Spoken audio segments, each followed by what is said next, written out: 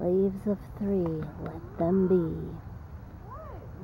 Poison ivy.